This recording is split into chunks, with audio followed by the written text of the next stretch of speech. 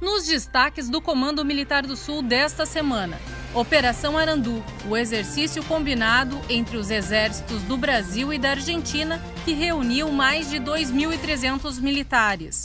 A ativação do núcleo do 1 Batalhão de Inteligência Militar do Comando Militar do Sul. E também a visita do comandante do Exército nas obras da BR-116. A Operação Arandu, exercício combinado entre os exércitos do Brasil e da Argentina, foi concluída com todos os objetivos alcançados. A operação foi realizada no Campo de Instrução de Santa Maria e no Campo de Instrução Barão de São Borja, o Saicã, entre as cidades de Rosário do Sul e Cacequi.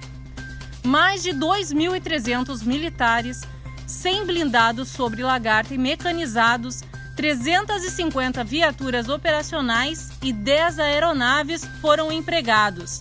A operação, que começou a ser planejada em 2017, fortalece a diplomacia militar com a união das forças das nações irmãs. O fechamento do exercício combinado foi marcado com a formatura e com a análise pós-ação em Santa Maria.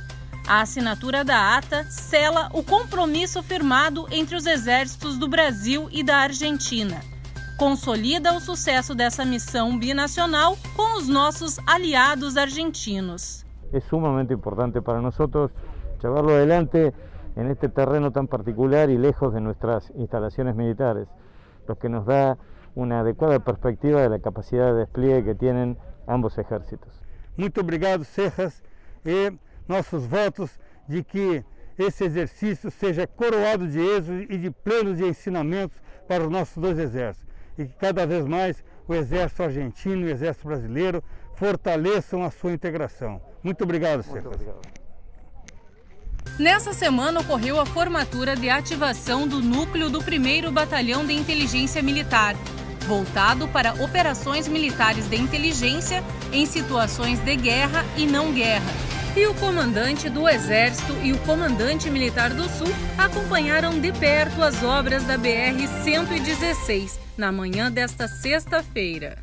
Essa obra tem um viés dual.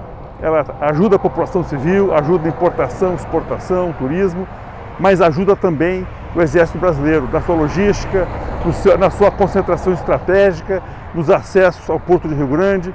Então é uma, é uma obra muito importante para o Brasil e para o Exército.